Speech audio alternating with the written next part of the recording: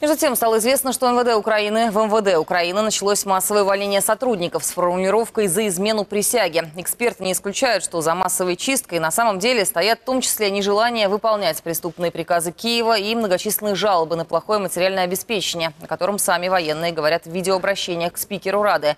Но самой горячей темой, похоже, станет утечка переписки временного главы министерства Арсена Авакова с одним из приближенных лидера правого сектора Дмитрия Ярыша. Эти материалы с новой стороны освещаются события прошлой пятницы под Карловкой, где отряд карателей в бою с ополчением понес заметные потери.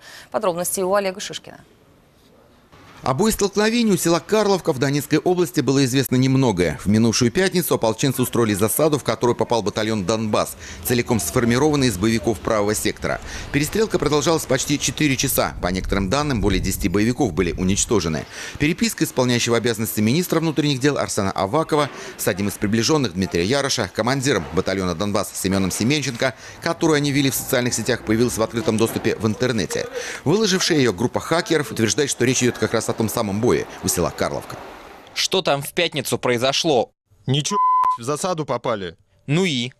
Да в головную машину прислали из РПГ прямо в МТО. Пять человек превратились в шашлык. Но это еще не самое Догадался уже, что не самое. Судя по всему, воевать с ополченцами оказалось для боевиков куда более сложным делом, чем расстреливать безоружных граждан. Как следует из материалов переписки, часть личного состава батальона попыталась покинуть место боя. Далее Семенченко рассказывает Авакову, что произошло с этими боевиками, и хотя напрямую слово «расстрел» в переписке не фигурирует, оба, похоже, хорошо понимают, о чем идет речь. Бойцы увидели, как один с перебитым позвоночником пытается отползти от коробочки. Ты понимаешь, что потом случилось? Побежали, да? Да, человек 10. У меня выбора не было, понимаешь? Просто не было. Трупы все нашли? Да, закопали неподалеку. Иными словами, Семенченко дает понять Авакову, под Карловкой он стрелял в своих. Даже если принимать во внимание, что подлинность этого диалога пока официально не подтверждена, подобные события вполне укладываются в контекст происходящего на Украине.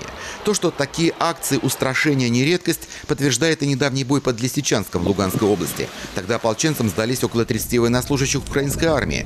После боя все пленные, утверждают бойцы самообороны, были отпущены. Но за то, что они отказались стрелять в гражданских и сложили оружие, с ними расправились боевики Нацгвардии. На ближайшем блокпосту украинской армии их расстреляли из крупнокалиберных пулеметов. Один из пленных украинских солдат, оставшийся в живых, подтверждает это. Потом они бросили оружие и отказались стрелять в мирное население, да?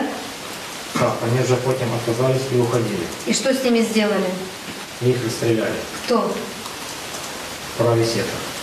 На Украине все громче звучат голоса родственников резервистов, задействованных в так называемой антитеррористической операции. Родные солдат 51-й механизированной бригады из Владимира Волынского устроили пикет с требованием вернуть их мужей и сыновей домой. Срок, на который призывали резервистов 45 дней, уже истек, а конца боевым действиям не видно. Пикетчики перекрыли международную трассу, соединяющую Украину с Польшей. Чого вони один, на одного йдуть? Скажіть, хто в цьому винуватий? Ну скажіть, роз'ясніть цим людям. Наші діти не підготовлені, поставили на блокпост, були розстріляні. Пожалуйста, вибий мені бронежилета. Нема ні бронежилетів, нічого. Перед отправкой на службу здесь всем миром сбрасывались солдатам на бронежилеты. Теперь говорят, что готовы собирать деньги, чтобы оплатить дорогу домой.